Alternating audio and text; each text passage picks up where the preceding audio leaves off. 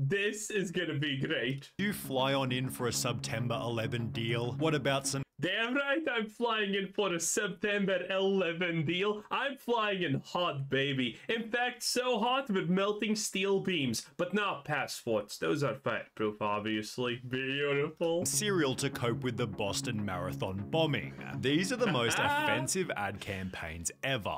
In 2011, Mexican restaurant You could say that cereal was the bomb. Hacienda rented this specific billboard, on which they'd referenced the Jonestown Massacre, where cult leader Jim Jones had killed his entire following by spiking their Kool-Aid with poison. So what Now, to be fair, he also shot a lot of them because some did try to run away. What did the restaurant's billboard say? We're like a cult with better Kool-Aid, and their drinks were apparently to die for. Hacienda's that's a that's pretty good. That's that's a seven out of ten. That's a seven out of ten. VP of Sales and Marketing explained, Our role is not to be controversial or even edgy. We want to be noticed, and there's a difference. We have a responsibility True. to advertise with care, and that's why we're pulling this ad. Hey, it's not like the, the people from Jonestown are gonna actually like make a fuss about it because they're dead.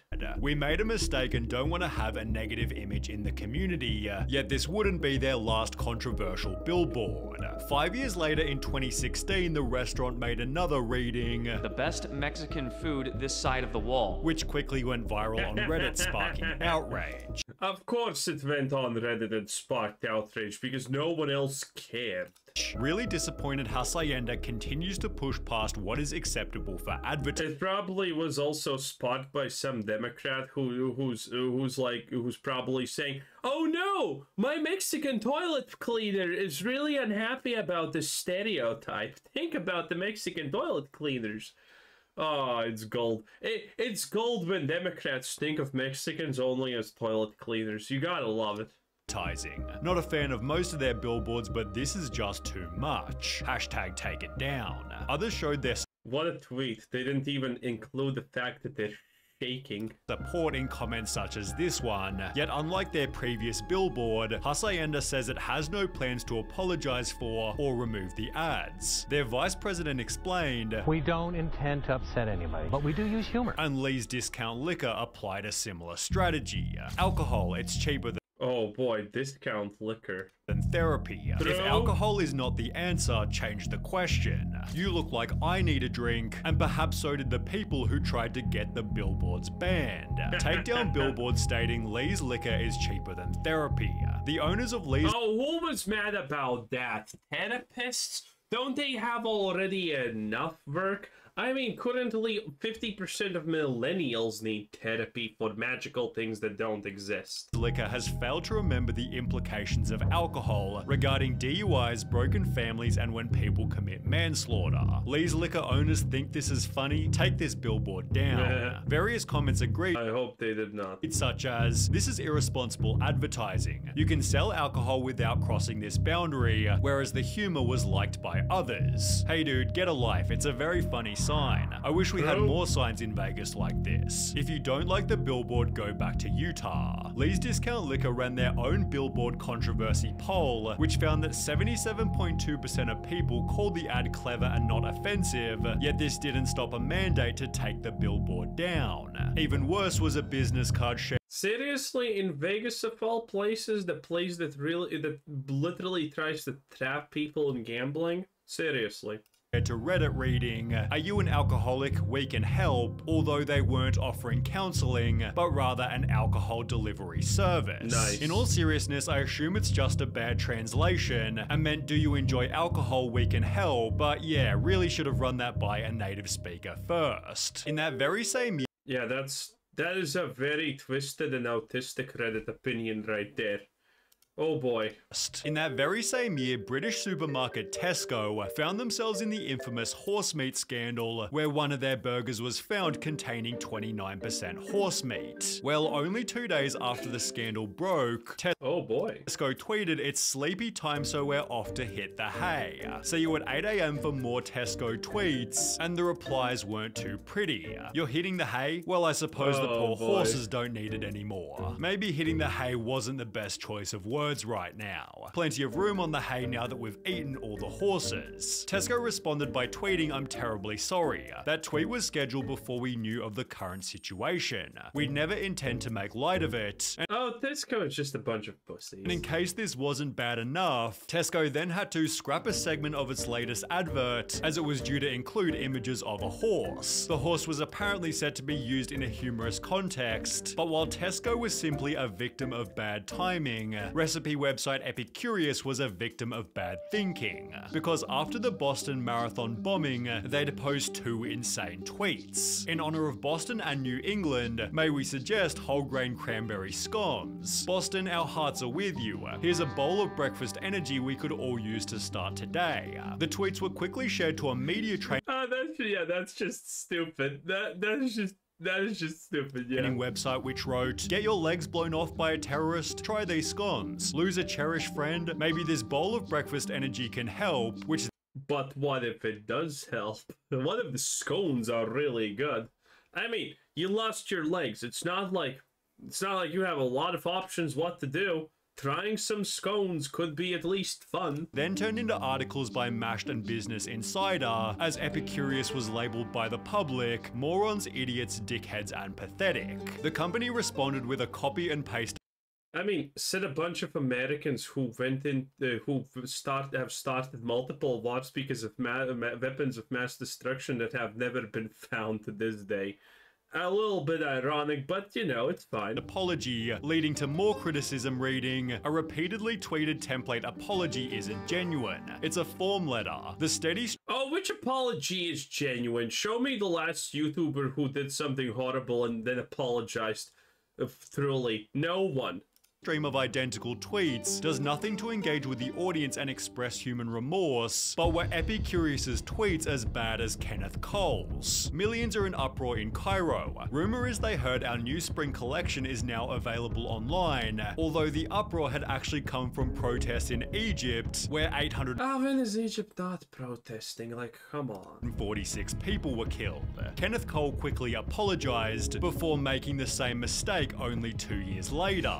In response to the Syrian civil war, he'd tweet, Boots on the ground or not, let's not forget about sandals, pumps, and loafers, sneakily What are loafers? advertising his new line of shoes. On a public billboard, Kenneth mocked the Hudson River crash landing, but at least he had the decency to avoid September 11, unlike this Hell no, baby, no one's avoiding that one. That's that's the comedy gold right there. TV commercial by the Worldwide Nature Fund. It be- Dude, America goes to Vietnam. Everyone gets PTSD against a bunch of farmers who didn't even know what's happening, okay? Twin Towers uh, happened. America once again gets PTSD. Can America do something and not get PTSD for once? In Europe, there's no such thing as a grandfather who complained about being in the war and killing whoever the hell they were supposed to kill at that time. Those are fond and cherished memories. Began by explaining in 2001 one of the worst tragedies in the history of humanity killed 2,819 people before showing a bunch of other planes to articulate that in 2005 the tsunami killed 280,000 people. That's a hundred times more deaths. The message of the ad was that our planet is brutally powerful, yet it felt like they were minimizing the severity of 9-11 to highlight a natural I mean, it is nothing compared to that one, though. disaster that couldn't They have, have been point. avoided. Not only is the message offensive, but it's scientifically flawed. All the carbon reductions and recycling in the world won't prevent tsunamis. Advertising double fail. The commercial Oh wait, they advert. Oh my bad, my bad. Horrible, horrible, horrible in that case. Commercial was so offensive that WWF tried to claim it did not authorize its production or publication, yet there was another 9/11 ad that was somehow even worse. It began to circulate in September 20 this alone already makes it gold. Hell yeah, boy! 13 and showed a man flying toward two foot long subs, which you could buy for a price of $9.11. The ad was Nice. captioned with two pieces of text Fly on in for September 11th, and you will never forget this deal. But was the ad actually legitimate? Well, no. It was the work of satirical news site The Onion, which wrote from the structural steel. Satirical or profit? Uh, pro, profitable, not profitable, but prophetic at this point. Well, admittedly, the onion now has also gone vogue, so you know it is what it is. Still melt on Tower 7 grain bread to the Twin Towers cold cut combo with ground zero carb vinaigrette on Let's whole wheat roll. We've got something Round zero. for everybody this September 11. Despite clearly being a joke, a man named Travis tried to cash in on the deal, printing the ad to bring to his Trust me, Travis was not the only one. local subway, which they unbelievably accepted. Is that a good coupon? I mean, there's a reason they work at Subway. Not, not shaming Subway workers. You are still way smarter than McDonald's workers, but you know, still. It's a good coupon? It's good? Okay. He and his friend were totally baffled, Dude, I can't believe they did that. even showing their receipt to prove they hadn't lied. If the coupon itself wasn't hilarious enough, the fact that Subway accepted it as a legitimate coupon had me rolling on the floor. Subway, however, wasn't impressed. Like Subway should be impressed that their employees even know how to process coupons. everyone, we are deeply offended by the fake story and ad created by The Onion. The story received coverage in a Sydney Morning Herald article, uh, which highlighted another 9 11 Oh no, Sydney Morning Herald article. How will people sleep at night now? deal uh, that was instead completely genuine. The now closed Tumbledown Trails Golf Club in Wisconsin posted this newspaper ad reading 12th anniversary of 9/11. To commemorate this, we are offering 9 holes with cart for only $9.11 per person, Nice. or 18 holes with cart for only $19.11. The owner of the course said the golf club began the promotion 2 years ago on the 10th anniversary of the attacks, and until now it had been warmly received as a way to ensure people never forgot the tragedy. He'd therefore add, we're a little hurt by the fact that people are putting such a negative context on this. I thought people would appreciate it. It seemed the owner at least had some good intentions, although so did these three companies when they used hashtags incredibly wrong. Sweets company Entenmann's wrote, who's not guilty about eating all the tasty treats they want without realizing Oh no, yeah, these aren't good. Oh no, these aren't good. realizing not guilty was trending due to Casey Anthony's trial for the murder of her baby. Then respond by tweeting, sorry everyone, we weren't trying to reference the trial in our tweet. We should have checked the trending hashtag first. Fashion brand Celeb Boutique wrote, hashtag Aurora is trending, clearly about our Kim K inspired Aurora dress, although The arrogance of thinking you're anything related to beauty, clothing, or whatever you're ever gonna ever gonna trend, you bunch of clueless hacks. Though this wasn't exactly true. The hashtag was trending due to the Batman movie theater shooting, which killed 12 people in Aurora, Colorado. Hey, hey, but what if he actually bought things from Celeb Boutique? Wouldn't that be a story? We are incredibly sorry for our tweet about Aurora. Our PR is not US based and did not check the reason for the trend. At that time, our social media was totally unaware of the situation and simply thought it was another trending topic. They should have right. Oh, oh, sorry, didn't know this happened in the Aurora. But if he was buying our brand, he could have probably done better because you do better when you look better. Back. We have removed the very insensitive tweet and will of course take more care in the future to look into what we say in our tweets. Then there was DiGiorno's Pizza who wrote, hashtag Why I stayed.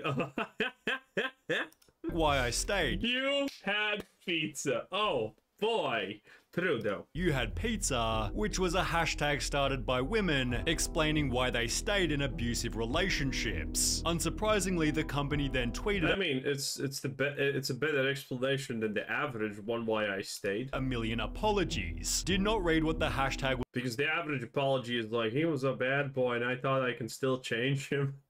was about before posting, and to their credit, they spent the entire day responding to every complaint authentically. All social media experts, please take a lesson from DiGiorno Pizza. When you step in it, you give real apologies and not excuses. Good job. However, Home Depot Yeah, never how about not? got the memo, as they'd do the exact opposite. After posting a tweet which produced the article, Home Depot apologizes for racist game day tweet, terminates agency responsible. I have no idea what this is even about, huh? So, what did the tweet say? Huh. Which drummer is not like the others, attaching a photo that showed black people next to a monkey?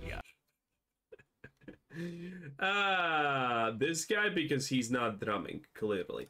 You could argue it wasn't that bad given it said which drummer is not like the others, although it's hard to know what Nivea was thinking when headlining an ad with the words white is purity. The camp- Damn straight right facts, boy. was so wild people didn't believe it was real, although others tried to argue that the world was overreacting. Is the US so obsessed with race now that the first thing America Uh, yes, yes. Whenever you start the sentences, you the U.S. obsessed with race. The answer is always, without any exceptions, 100% yes. If you can insert politics or race baiting, especially race baiting, and anything that anyone in the U.S. is talking about, you're gonna people are gonna respond positively to it because it's all the U.S. exists for nowadays. It's great. Americans think when they read white isn't the color but race. People stop seeing everything with identity politics tinted glasses. Then there was this ad by Bic Pens reading, look like a girl, act like a lady, think like a man, work like a boss, which was hilarious. I'm confused. Wait, what? Well, what's the problem here? hilariously designed to celebrate Women's Day. People didn't appreciate it. If it's quite alright with you, Bic, I'll Wait, wait, wait, wait, wait. When I don't understand what's wrong with this, is there even anything wrong with this? hilariously designed to celebrate Women's Day. People didn't appreciate it. If it's quite alright with you, Bic, I'll look like a woman, act like a woman, think like a woman, and work like a woman. And you can F right off like an idiot. To Oh, it was just women be doing women. Okay, I got it. make matters worse, Bic had launched the Bic for Her pen range three years prior. Big for her. That's good. which had already been slammed as sexist. Oh, look at that. It's the woman that abuses everyone, and she's gonna tell you what's bad and good. These are the people you get your advice from. Keep that in mind. Anyway, I think that's pretty much it. That was Sunny V2. Oh, yeah, because Sunny V1 sucked. This was Qwazar Says Then. Bye.